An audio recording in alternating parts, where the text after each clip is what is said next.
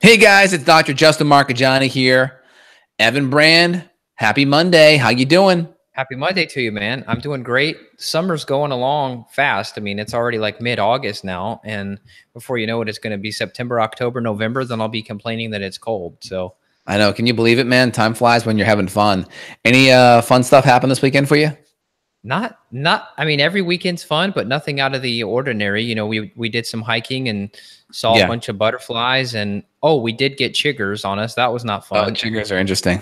We, yeah, we two weeks, not two weeks, two hours picking chiggers off of us. They were so small. I had a little magnifying glass. You literally could barely even see it. At first, I thought it was wow. ticks, too small, and so now we're all covered in chigger bites. But besides that, we're doing good. Excellent. Very good, man. Yeah, doing a lot of water skiing this weekend. Uh, enjoying Austin. It wasn't quite as hot as it normally is in the summer this weekend, so it was pretty fun. That's great. Yeah, you're gonna you're gonna miss out on the uh, the water. I guess we'll have to revisit the water. Totally, absolutely. Well, let's dig in, man. Let's talk about our top 10 anti-inflammatory foods. So we make a lot of recommendations to patients on, you know, certain foods and, you know, we tend to follow like a paleo template, right? And the paleo template is nothing more than utilizing anti-inflammatory, nutrient dense and low toxin foods. And we typically animal protein the quality components also factored in, right? Organic, pasture fed, you know, antibiotic free, hormone free animal products can have a lot of really great nutrient density, right? A lot of people that are plant based, they kind of miss out on that. You know, uh, I get a lot of conversations with people on nutrient density. So, for instance, 500 calories of grass fed meat packs a lot of nutrition, right? You can get 500 calories of grass fed meat in about eight ounces of meat, which is pretty reasonable, right? A lot of people they'll go out and they'll get like a seven, you know, a six to eight ounce kind of filet mignon or a bigger ribeye. A lot of good nutrients there. To get 500 calories of kale, you got to consume 16 cups of kale. That's a lot of kale. Most people would never consume that much. So the nutrient density is easier in some of these animal products and it's easier to get. It's easier to access. Most people couldn't do 16 cups of kale in two days, let alone one day, but almost anyone could do eight ounces of grass fed meat at one meal. And I'll typically, if I go to a nice steak restaurant, I'll even do, I'll even do 16 in one meal if it's a good ribeye. Yeah. Let's talk about why. I mean, why is it so important? You got to have these nutrients to for one right. you got to stabilize your blood sugar and so if you're not getting good fats good mm-hmm. proteins in you're not stabilizing blood sugar and then two all the different right. micronutrients and amino acids that you get from your meats those go in to fuel hormones and neurotransmitters so right this is why like vegetarians and vegans they come to us so often but they a lot of times have a mental health issue like an anxiety problem and it's because they have no protein in or if they do have protein as you mentioned it's beans and then they have a bunch of digestive problems because they're eating like cups of beans a day yeah. So when we look at animals, right, animals have a great ability to concentrate plant matter. So part of the reason why a lot of animal products can be superfood is because they concentrate plant matter. Number two, if you do organ meats, organ meats, if you look at like just Google like vitamin A, you know, animal versus plant. I mean, you're going to see a lot of the plant stuff. It's it's beta carotene and uh, precursor compounds, right? These mixed carotenoids, these beta carotene things, they have to get converted right? It's not active vitamin A, but if you get animal-based vitamin A, whether it's from cod liver oil or actually liver, liver glandular or from good quality grass-fed meat, it's already activated. So a lot of these nutrients are already activated in animal-based forms. And number two, they're they're concentrated, right? Part of the reason they're concentrated is because the animals concentrate plant matter as they grow. If they're, you know, if they're like a natural kind of sustainably farm type of thing, they're going to be grass fed and they're going to have access to it. We're not talking about the CAFO feedlot thing. A lot of these, you know, documentaries you'll see like Cowspiracy, they kind of just like lump in all animal products are like this and they they pretend like there isn't another option over here that uses organic and kind of like naturally farmed uh, protocols yep. to make it work, right? Yep. Well said. Let's talk about gut real quick and then we'll get into the food. So if your gut's yeah. inflamed, you're going to have a leaky gut situation. Mm-hmm. You and I measure this on stool testing. We look at levels of calprotectin, we look at secretory IgA. And Correct. if your gut's inflamed, you're more susceptible to pick up infections. So, bacteria and parasites and worms and everything else that we see, if your gut's leaky because your gut's inflamed because you're eating inflammatory foods, that's a big like domino effect. And you could take all the herbs in the world to kill your infections, but you have to have an anti-inflammatory diet at the base of it otherwise it won't work. I'll just give an example. I did a case review this morning with some clients and they're vegetarians and i've been really trying to get them to eat animal protein but they won't listen to me. The biggest foundation of their diet is grains and we looked at their IgA levels, and their IgA levels are still terrible. Now, we did clear some infections, but they have a bunch of parasites, and I don't think they're going to be able to heal their gut if they stay 100% vegetarian. All they eat is like salad three times a day, and then they poop out undigested leafy greens. It's like your body's trying to tell you something, but they won't listen. So exactly, and that's a really important component. We talk about some of these foods. There's lots of different ways and mediums which these foods can be consumed soup or smoothie or, or juiced or sauteed or cooked. I think it's really important that you, one, you should be able to digest and break down these foods. Like some people may say, I have a really terrible experience eating meat. Well, why? Right? Your digestive system probably stinks, and that's why you have a hard time breaking it down. Your hydrochloric acid and enzyme levels probably aren't good, so you can't break the amino acids down in the meat. So typically when patients are like that, I say, hey, eat the highest amount of meat that you can handle without any negative consequences. That may be an ounce, right? And then I'll say, well, let's try making it so it's broken down even better. Maybe use a soup type of form where everything's broken down, cooked, peeled, mashed, sauteed. That way, there's the, the least amount of stress on your gut to extract these nutrients. So when we go into our top 10 list, it's not going to be in order of like, you know, ones being the best, 10's the worst. We'll just kind of give you our top 10 categories. And from there, that you guys can uh, figure out what works for you. But in general, um, the cooking method may be really important. Like Evan said, if you can't process the, the, the leafy greens and such, and you see a whole bunch of stuff in your stool, that may be a problem yeah, you, you got to do something big time. So let's dive in.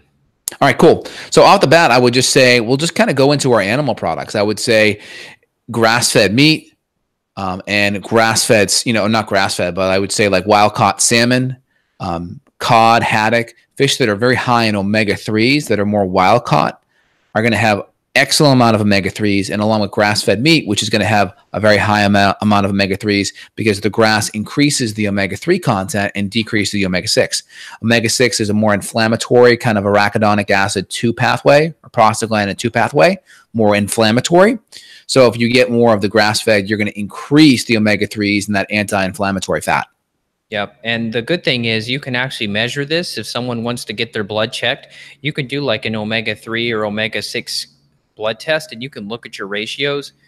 What we saw prehistorically was closer to one to one ratio, omega three to six. Now it's something crazy, like 20 times higher omega six in the diet versus omega threes because there's peanut oil and other omega six rich oils in all the foods that you eat at restaurants. Totally, totally. So I'm gonna put the I'm gonna put the um the high quality salmon and the omega three fish on there. I'm gonna put the grass fed meat on there. I would even go into high quality saturated fats like coconut oil. Coconut oil is going to be an excellent one, especially if there's any inflammation. Most people can tolerate coconut oil. I'd even say some could probably even do butter. Butter can be really anti inflammatory, but some people may have a reaction to the small amount of lactose or casein in there. So ghee may be better. But the more inflamed you are, a good quality saturated fat, coconut tends to be very helpful and it's very heat stable too. So the cooking of that won't oxidize it and make it a, a free radical based fat, like yeah. trans fat. I would add avocados to the list while we're talking about fats. I do an yep. avocado not every day. I did yep. get obsessed with avocados for a bit and started getting migraine headaches from them. Maybe some type of histamine reaction or mm-hmm. or polyol reaction. I'm not sure what it was, but uh, I believe is an avocado a FODMAP? It is. It's a moderate FODMAP. It's also a mono unsaturated fat. So it's, it's a good one. It's that good meme on the face on Facebook. I, I see a lot. It's just great. It's like a, an avocado looking in the mirror, like having a conversation with himself, and he's like, "You're fat," and then he goes, "But you're a good fat." Exactly. so, I love that. It's, it's a great little meme. So I like it. It's a good quality fat, a lot of good nutrient density in there, and I'd even go to egg yolks next. Eggs and or egg yolks. Uh, I would say some people that can't tolerate eggs may still be able to tolerate the yolk, which has a lot of good fat soluble vitamins.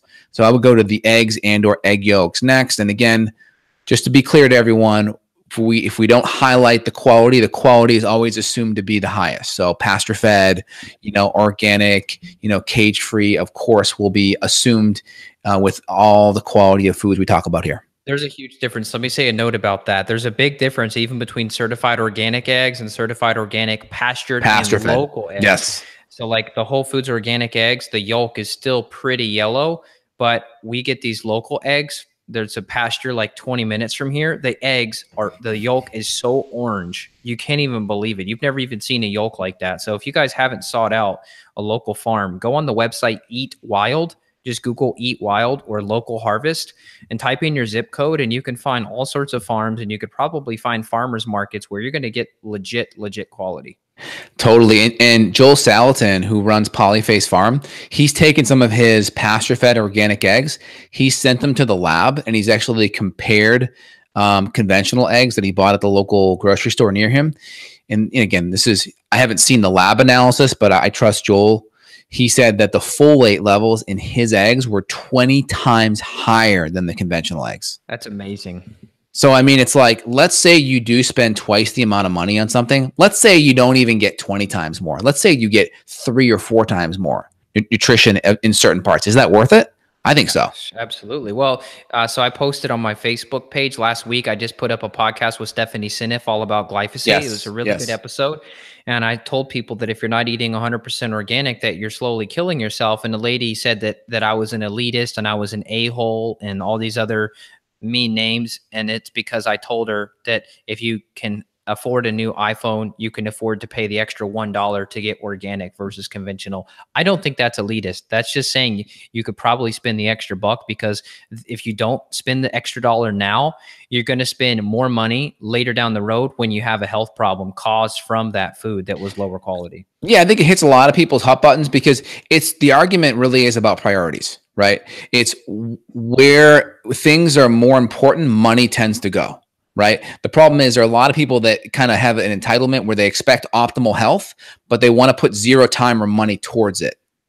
And yeah. like if you read Michael Pollan's book, I think it was The Omnivore's Dilemma, he talked about the amount of money that we used to put towards our food in the 1950s. It was about 18% of our daily income or our, our yearly income. And then today it's been down to 9%. So what does that mean? We're allocating 50% less of our resources to healthy quality food. And I mean, that's part of the reason why, you know, we're sicker as a country is that we want cheaper, more convenient food, which tends to be more processed and more inflammatory and less nutrition in it. So there's a sense of entitlement out there, and we're just trying to fix the entitlement by one, inspiring people and motivating them, and number two, giving them the education of like, all right, where can I get these things? Which foods are the best from a nutrient density, anti-inflammatory standpoint? And then piggybacking on that, the Monsanto had a big lawsuit. Um, they came back Friday night, it took a two hundred ninety million dollar lawsuit with this um, with this gentleman up in the Bay Area who was spraying pesticides. He worked on the school and he would spray pesticides, and he ended up getting this lymphoma that was directly correlated, uh, connected to the Monsanto uh, Roundup glyphosate he was spraying. And it's interesting. I want to just kind of go off this riff one sec. Is the attorney for Monsanto was saying, "Hey, we have eighty studies." Saying it's totally safe. But they still ruled in his favor because the evidence was so compelling. So my question is, how the heck do you have such strong evidence where a judge is going to rule in your favor, which is so hard against a Monsanto team that has like the best lawyers, probably teams of attorneys to rule against them when you have 80 studies saying it doesn't? That kind of makes me second guess how these studies could even be created where you can manipulate the sample size. You may not have a great group to compare to. Maybe you're not giving an accurate amount of the dose of roundup because you're not comparing all the different foods. How the, fa- the fact is how can you get 80 studies saying it when now you have evidence that people are actually um, coming down with it? That's that's the scary part and that makes me let's just say second guess a lot of conventional scientific research out there from all kinds of different mediums from various procedures and medications and drugs. Yeah, well said. And so, just to clarify for people, if something is not marked organic at your grocery, you can assume that it is sprayed with glyphosate. We have millions, hundreds of millions of pounds sprayed in the US each year. And it, it really should not be called conventional food. It should really be called chemical and then, so there's the chemical section and then there's the organic. It shouldn't be conventional because that's not conventional. Conventional was organic just a short time ago. Now, organic has to be labeled organic. But yes, your grandparents ate conventional in the 1940s before glyphosate was invented and that was organic back then because glyphosate right. didn't exist and here's the here's part of like the reason why a lot of this stuff skewed right if like you're monsanto and you've invested billions of dollars into a product and you're researching the product what are the odds are that you're going to come up with negative information? Let's just say shutting down this product like like showing that it's negative and bad and harmful. Now, again, a perfect world, what would happen is it would you may you may kind of like you know manipulate the study a little bit. A lawsuit like this happens, and then it sends a signal to every company: no, we got to be really careful because we don't want to be shut down with a massive lawsuit like this that would cripple a company. Number two is if I'm like, you know, Joe Schmo scientist at a university and I want to do a study at this looking at the safety of glyphosate or Roundup, how do I get the ability to do a study on that? I have to license that product, that chemical from Monsanto. Do you think Monsanto is going to license that product to me to use in the study? Probably not this is what becomes this is becomes really hard to, to know the safety of some of these things where it's a little bit more let's say easier to do a study on vitamin c or an herb because there's no major patent or massive company behind it. So it's easier to study nutrients and herbs because that they're just out there in nature. There's no patent on it. No one has exclusive rights to it.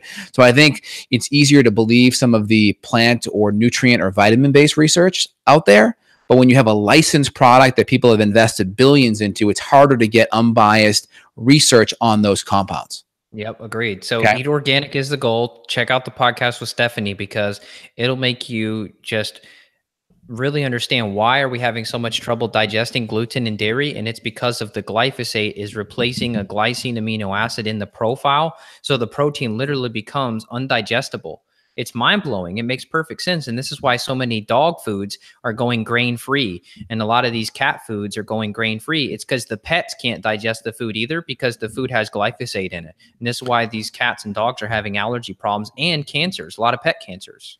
Totally makes sense. And we had a little kind of we went off the, the beaten path here for a sec, but I think it's important to highlight this because if foods have these various residues, even if it's on our top 10 list here, it may not be a good food for that. Yeah, and a lot of our listeners that are already smart cookies, but if you see natural or something that does not mean anything. If you see organic, that is organic. That is a certification. It's completely different than natural. A little different, so, yeah. Yeah. It's yep, organic. You can, you can, make that claim. It's a little more behind that claim. Let, let me say a couple things about coconut. You mentioned coconut oil. I would tell people too, if you if you like it or if you're looking for a swap and you're not doing well with like almond milk or if you're still drinking conventional milk, coconut milk, you could do a full fat coconut milk. You could use that as creamer in your coffee if you have to have it. You could do uh, just coconut butter is awesome. Like coconut cream is great. So there's, or just eat a straight coconut and eat the meat of the coconut. There's a tons of benefits. Totally. Now let's go into some various herbs that we can add with our foods. Uh, big fan of curcumin or turmeric, as well as ginger. And if any of my patients are listening, they know how much I like the ginger tea and how important it is for helping with biofilms and also helping with inflammation reduction. So ginger is excellent. And then also turmeric or curcumin, which is kind of the concentrated kind of active compound in turmeric, is great for inflammation. And I have a, a liposomal curcumin, uh, a liposomal curcumin because a lot of turmeric isn't quite well absorbed in the powder form. So the liposome helps with the absorption. That product is called curcumin supreme. But in general, these, these can be excellent ways to reduce inflammation by adding the spice to your food, uh, supplementing with it, and or doing a ginger tea or a ginger kombucha can really help reduce inflammation in your body. Yeah, that's great. I would say cinnamon would be one to add to the list too of things you should have. With blood sugar too.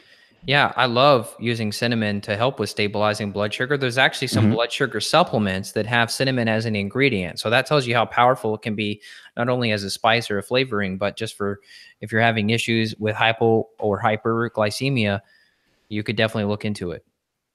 Absolutely. And let's go into some various nuts and seeds. I mean, there's some really good seeds. Chia seeds are great. They have really good omega 3 content. Omega 3 is that anti inflammatory um, fatty acid. Um, so we have the chia seeds in there. We also have walnuts, which are excellent for omega 3 fatty acid content. Um, are there any other seed? We have flax as well, which has some good omega 3 content. We got to be careful with a lot of the plant based fats. The plant based fats uh, that are omega 3 based tend to be more alpha linolenic, linolenic, which has to get converted to a 20 carbon called EPA or eicosapentaenoic, which then gets converted to docosahexaenoic, which is the 22 carbon. So it goes 18 carbon to 20 to 22. And this process of adding two carbons and two carbons basically requires certain enzymes to be there and can decrease the conversion. So that's why the the animal fats tend to be a little bit more superior on the EPA and DHA side because of the conversion process. Because you're avoiding the conversion process, you're saying you're just yeah, you're bypassing the conversion process when you're doing animal products. When you're doing plant, there is a conversion process. Now, the less inflamed you are and the more insulin sensitive you are, the more you can convert that.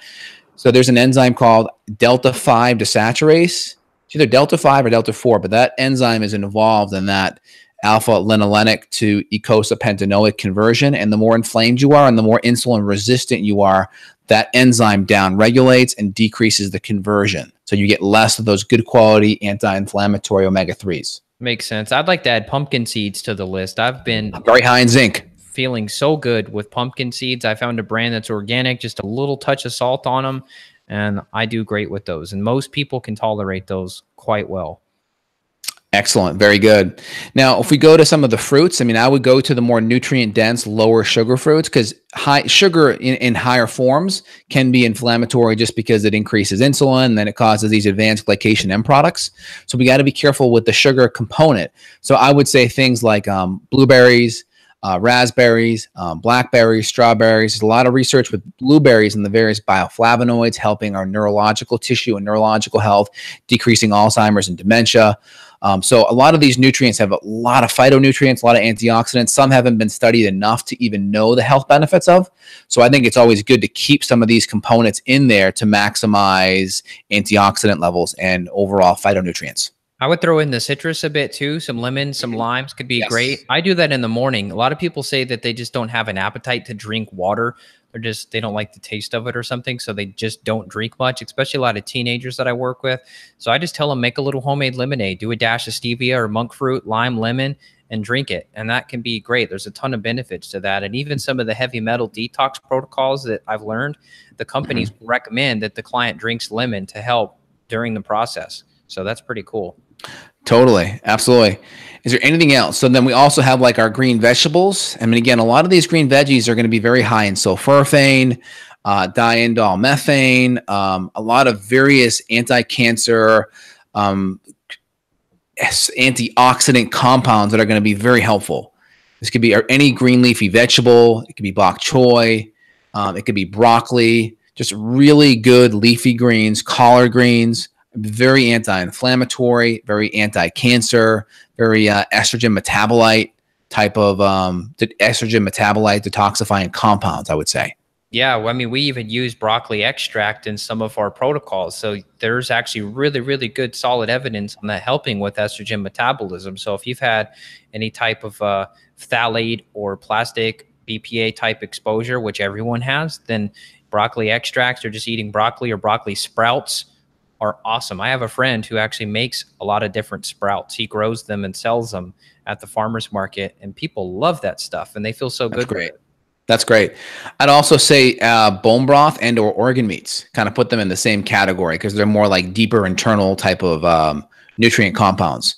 So bone broth you're going to get from either like um, a crock pot or you'll buy the bone broth or you'll do an Instapot with high quality, good animal bones in there and or organ meats too whether it's liver or some glandular tissue. It's going to be excellent. A lot of good vitamin A, a lot of good fat soluble nutrients.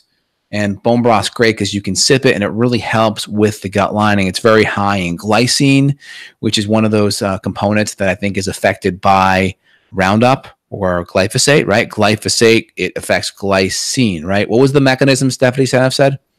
So, yeah, it I believe the so the glyphosate, it is a, I believe it's a glycine molecule that has something extra added to it. So it replaces a glycine.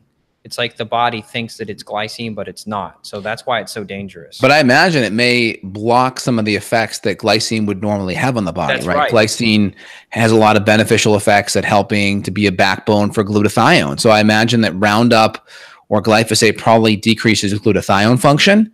And I imagine it probably decreases the enterocytes that line our gut because I know there's research that in- increases gut permeability. And I know glycine is really important for gut function, correct? Yeah, that would be the mechanism. She did talk about that, how it does not only does it increase the leaky gut situation, but it also increases blood brain barrier permeability too. So if you have a leaky gut, you most likely have a leaky a leaky brain as well, which is not good.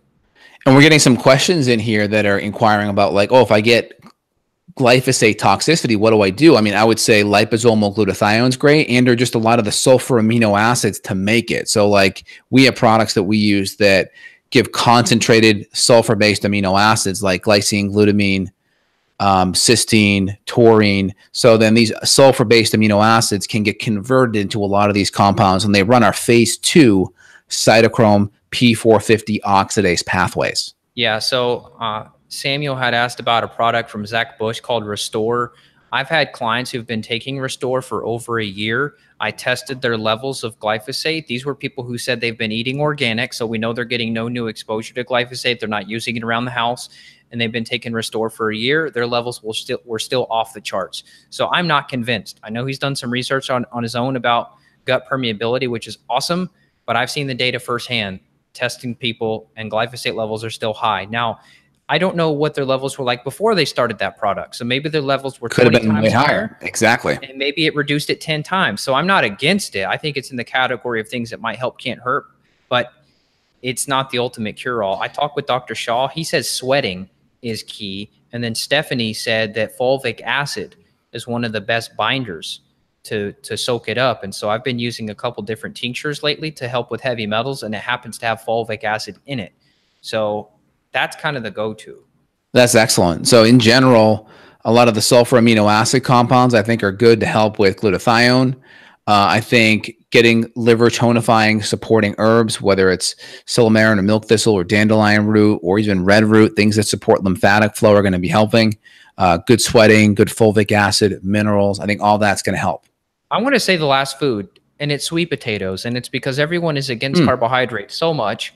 And sweet potatoes changed my life. When I had adrenal problems, I was going so low carb and I couldn't handle the stress of it. I believe my, my adrenals may have just been too weak to adapt to ketogenic. Maybe I'm wrong. Maybe there was something else in my gut infections weakening me. But when I just added in a small sweet potato just a couple times a week, that was the carb refeed at dinner time that I needed to really help me yeah. sleep better. And then once I slept better, then I had more energy during the day. Yeah, and I think you know we got to look at your situation as you're definitely leaner and more insulin sensitive. So just remember, if you're an insulin resistant individual, right, uh, maybe a little bit overweight, hip to waist ratio is off a bit, that may not be the right advice for you. But if you're in a place where you're more insulin sensitive, you're at a, a, better weight for yourself, it couldn't be, it couldn't hurt trying it and just seeing how things like your sleep improve. You've got vitamin A, you've got vitamin mm-hmm. B5, B6, potassium. Mm-hmm. Yeah, potassium, riboflavin. I mean, there's a lot of good Bs in your in your sweet potatoes. I want to hit this question up, and I didn't mean to distract if you had something else to say, but there was a question or just a comment from Gary, and he mentioned that the dilemma is you talk to the cardiologist, nutrition people, and they advise basically the opposite of what we're saying. However, if you listen to functional cardiologists like Justin and I's mutual friend Jack Wolfson, Jack Wolfson, yeah, he's a board certified cardiologist. Guess what his dietary protocol is for all of his patients? It's paleo. It's a paleo template, and he reverses heart issues with a paleo template. So you can't pay attention to the conventional nutritionists that are trained by big pharma. And just remember when we when we talk about any dietary advice, we don't talk about a diet, we talk about a template. Yeah. And that template allows us to take meat and bring it down super low because their digestion may be really messed up or sensitive, ratchet up all kinds of things like bone broth and healthy fats and, and plant proteins or plant nutrients, right? So we have in a template type of methodology, we have the ability to customize macronutrients, to customize the digestibility aspect of these foods to help someone out. So it keeps us in a position where we're the least dogmatic as possible because we have we're not handcuffed to a diet, if you will. Right. Yeah. Well said. Uh, there was a comment here from Eva that you'll probably like to hear. Hi, Justin. Wanted to say my nightly leg cramps are gone since I started to take magnesium malate three times a day. That's cool. That's great. Really cool. Excellent. Another question here about Char from Charlie: grass-fed beef, but grain-finished beef still optimal? No, it's not. You want 100% grass-fed, grass-finished. They do the grain at the end because it helps to add some fat and marbling to it. But I personally like grass fed and finished. Yeah, I mean, if you don't have the ability to get that because you you only can get the grass fed but grain finished, just at least make sure it's organic. So then there's going to be a less Roundup or no Roundup in the grains at least. So then you have at least that aspect. That's a good point. Mhm. There's a question from another person. My son had gout. He eats grass fed meats, organic chicken. He's gluten dairy free. Any thoughts? Um, whose question's that one? It just says BC. There's no name, just initials. Okay, got it. I'm trying to find that question. It was near the top. Okay, got it. Um, so in general, I would just say first, gout tends to be driven up by fructose. Okay, so fructose can get converted to uric acid, and again, it's fructose. We get a lot of questions about this. So, like, Dr. J, what's what's fructose? It's fructose. No, it's not. It's fructose. I got a big conversation with Dr. Robert Lustig at the University of California, San Francisco about it. It's fructose. Um, but I in have to start general, saying it like you. Then I always say fructose. So I'm gonna have to correct myself now. Yeah. Oh, he was like, dude, it's fructose. I'm like, all right, I'll say fructose from now on.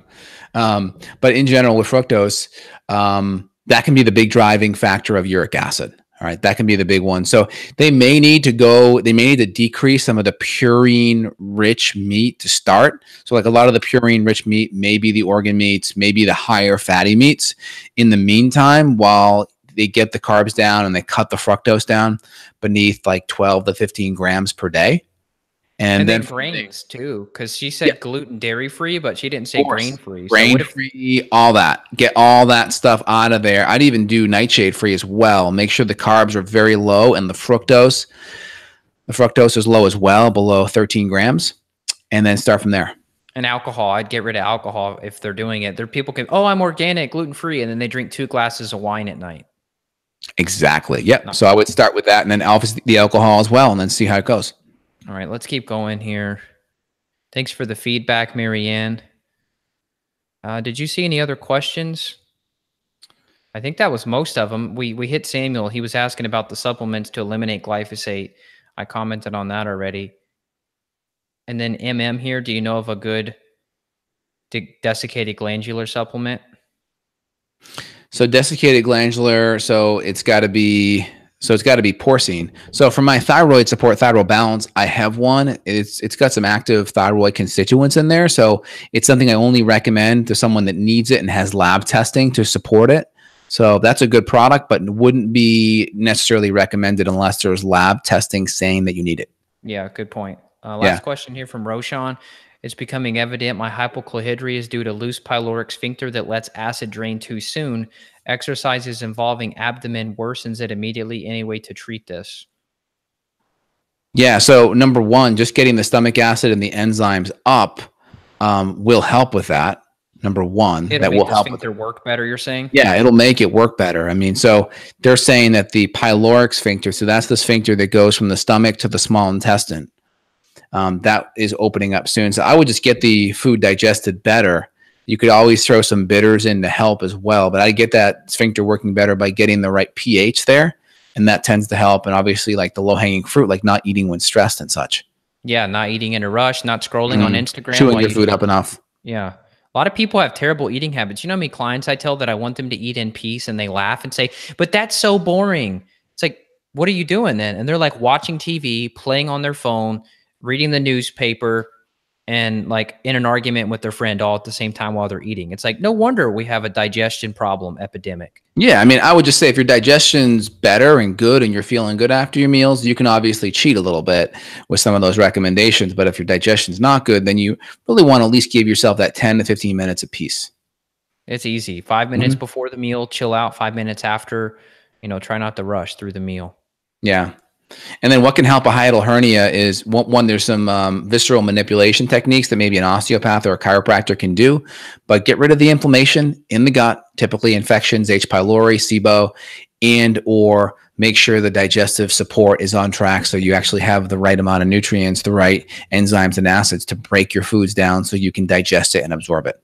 I had a hiatal hernia at one time, and I think it just disappeared because I'm not bothered by that part of my right Yeah. below my sternum. I don't feel anything anymore. Yeah, could have been infection based. So let's kind of summarize a lot of the foods, and again, in no particular order, just because um, you know all these foods are going to be part of your diet, and they, they should all be there. I would say bone broth. I'd say ginger, turmeric. I would say a lot of your your lower sugar fruits that have high bioflavonoids and phytonutrients with low levels of fructose. I would say your grass-fed meat. I would say your salmon and your good quality fish and such. I would say your good fats like avocado, coconut oil, good saturated fat, your chia seeds, your flax seeds, your walnuts, your avocados. Is there anything else, Evan, that you want? And then obviously your non-starchy green vegetables. That could be bok choy, kale, spinach, celery, pumpkin seeds. Don't pumpkin forget. seeds, pumpkin seeds. Is there anything else you wanted to add to that list, Evan? I think good quality hydration. Don't skip Mhm. out on that. A lot of people do a lot of teas and a lot of coffee because they don't do soda, which is great, but you can't skip the good high quality water because tea and coffee, they are diuretics. So Totally. organic coffee all day, great, but okay, you got to drink water as well. How simple. Bingo. I think that's excellent, Evan. Well, hey, today was a great podcast. Appreciate everyone listening. Head over to thyroidresetsummit.com. We got a summit coming out end of the year. It'll probably be in January. We're moving it back a little bit to get more great speakers involved in the summit, more time here. And Evan, anything else you want to say? I would just say give us a thumbs up, give us a share, you know, hit the the bell as well so you get the alerts to these great talks so you guys can be involved and connected. Anything else, Evan, for you? Uh, people can reach out if they want to schedule a consult with you, your site, and they also you also have those supplements mentioned on there. The Curcumin Supreme, that's at justinhealth.com. And then if you want to check out my site, consult with me, evanbrand.com. We love helping you all. We really appreciate the feedback. Take good care of yourselves. Evan, you have a great day. Everyone out there, have a phenomenal week too. See you later. Bye now. Bye bye.